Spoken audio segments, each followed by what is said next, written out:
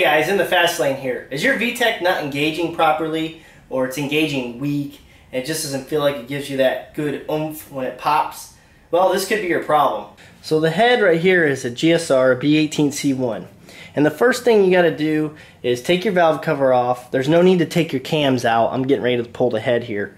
Uh, but you pull off your uh, cam cap or cam cover and then you take off your cam cap the middle one, it's uh, it'll have number three. It'll say number three right It with an arrow. You just remove that. You leave your cams in there. You leave everything else bolted up. And this little uh, O-ring right here, this rubber O-ring, this is where uh, some people don't put one in there or it's flattened out so bad that the oil pressure is starting to shoot out into the head or the valve cover instead of going up through the cams and popping VTEC.